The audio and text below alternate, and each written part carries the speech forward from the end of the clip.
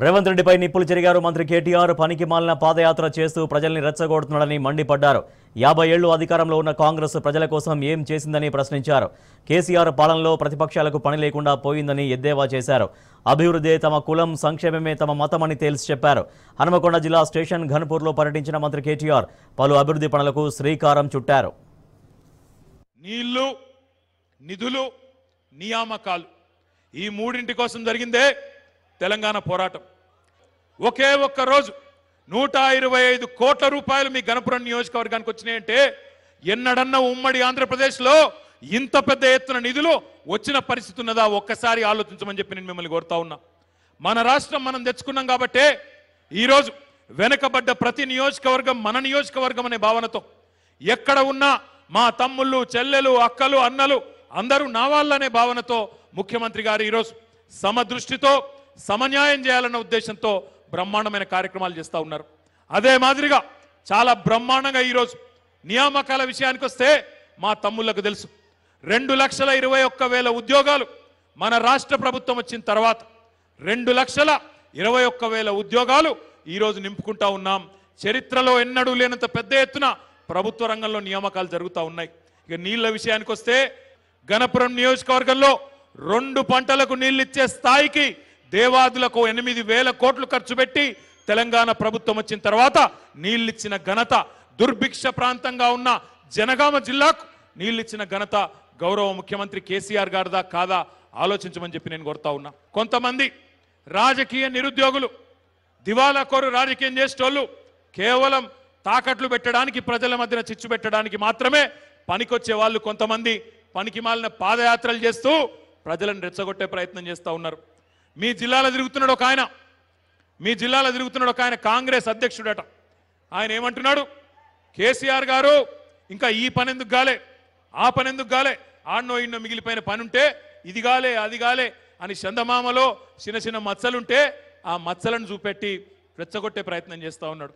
ఇంకా సిగ్గుమాలిన పని ఏంటంటే కాంగ్రెస్ పార్టీ అధ్యక్షుడు అంటున్నాడు ఒక్క ఛాన్స్ ఇవ్వండి ఒక్క ఛాన్స్ ఇవ్వండి మాకు అని మరి అడుక్కుంటున్నాడు. నేను గుర్తు చేస్తా ఉన్నా సోదరా ఒక్క ఛాన్స్ కాదు. నీ పార్టీకి నీ దిక్కుమాలిన పార్టీకి స్వాతంత్రం వచ్చిన డెబ్బై ఐదు సంవత్సరాలలో ఒకటి రెండు కాదు పది ఛాన్సులు ఇచ్చిండ్రు ప్రజలు యాభై ఏండ్లు దేశాన్ని రాష్ట్రాన్ని మీ దౌర్భాగ్యుల చేతుల్లో పెట్టినందుకే కరెంటు లేక నీళ్ళు లేక సాగునీరు లేక ఆత్మహత్యల పాలైండు తెలంగాణ రైతన్న. ఇప్పుడిప్పుడే ముఖం తెలివికొచ్చి ముందుకు పోతా ఉన్నాం.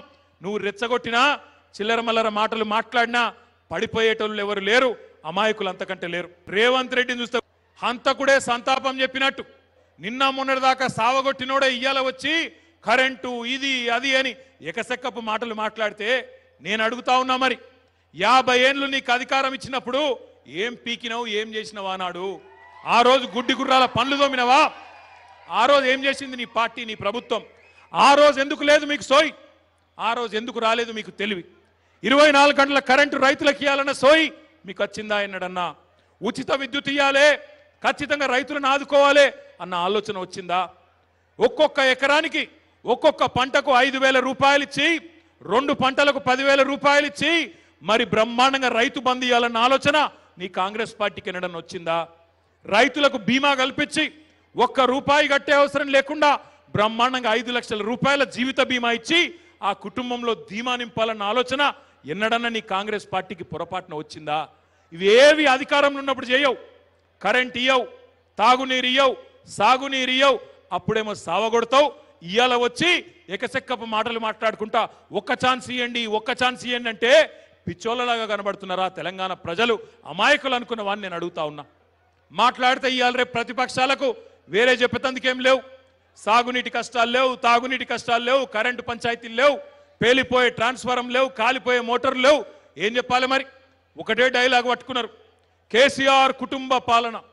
అవును నేను చెప్తా ఉన్నా గన్పూర్ నియోజకవర్గంలో బరాబర్ మాది కుటుంబ పాలననే. కానీ కానీ నాలుగు కోట్ల మంది తెలంగాణ బిడ్డలు మా కుటుంబ సభ్యులే.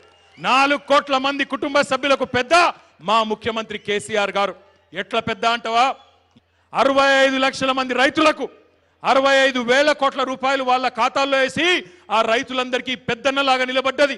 వాళ్ళ కుటుంబంలో భాగమైంది కేసీఆర్ కాదా? నలభై ఐదు లక్షల మంది పెద్దవాళ్ళకు నలభై ఐదు లక్షల మంది పెద్దవాళ్ళకు మీరు రెండు వందల పెన్షన్లు ఇస్తే రెండు వేల రూపాయల పెన్షన్లు ఇచ్చి వాళ్ళను కడుపులో పెట్టుకొని వాళ్ళ చేతిలో ఆసరా కర్రైంది కేసీఆర్ కాదా?